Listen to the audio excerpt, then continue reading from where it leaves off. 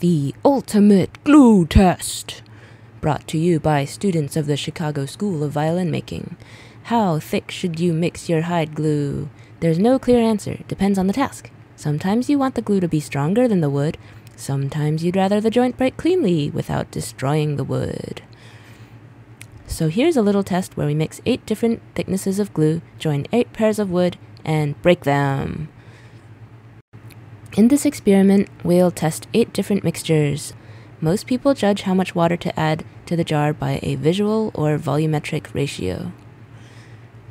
We'll do this, but also track percentage glue by mass for the sake of repeatability. Each jar is tared and then gets 5 grams of dry hide glue crystals.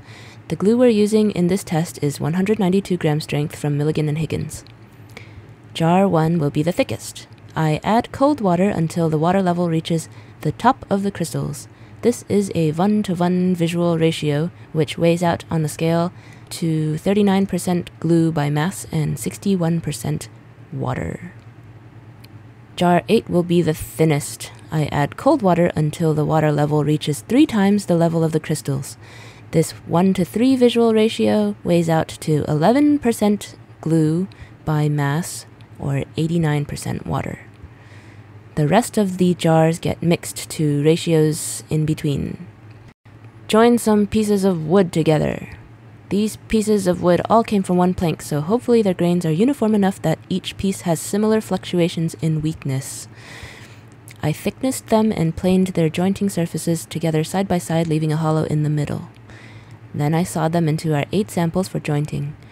For each pair, I slopped on some glue, put them on a glass, and drove a wedge down on one end to give some clamping force.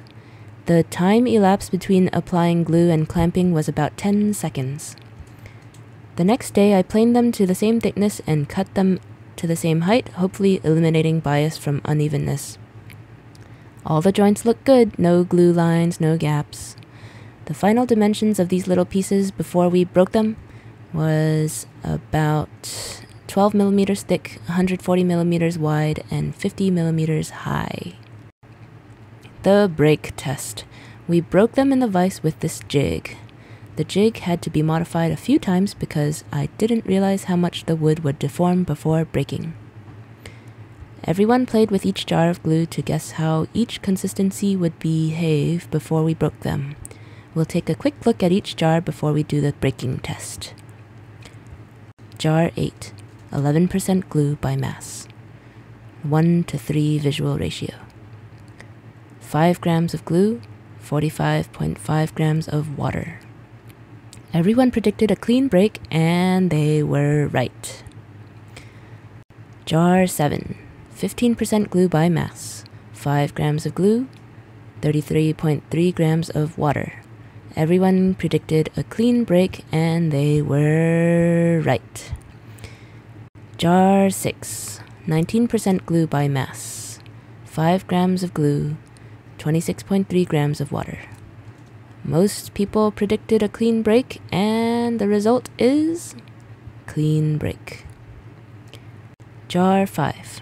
23% glue by mass. 5 grams of glue. 21.7 grams of water. Most predicted a partial break, and they were right.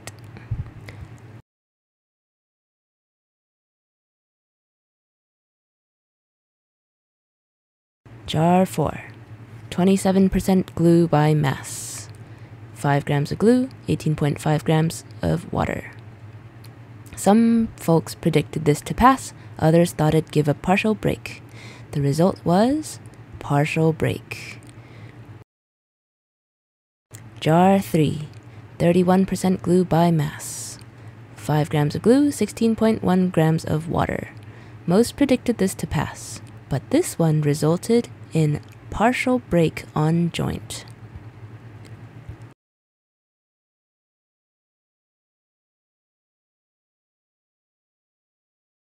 Jar 2. 35% glue by mass. 5 grams of glue, 14.3 grams of water. Most people predicted a pass. They were right. This one broke way off the joint. Jar 1. This one is a 1 to 1 visual ratio 39% glue by mass, 5 grams of glue, 12.7 grams of water. Most people predicted this would pass, though some thought it might fail because thick glue can gel up too soon. It passed. Though it did break very close to the joint, none of the flat jointing surface is visible in the break. Conclusions. So that was the test. For our glue and in this gluing application, 35% and up gave us joints that were as strong as or stronger than the wood itself. Glues mixed at 23% to 31% gave us a partial break on the joint, and 19% and below gave weak joints that broke cleanly. Your results may vary depending on many factors. Your hide glue might be different. Fresh glue and glue a few days old behave differently.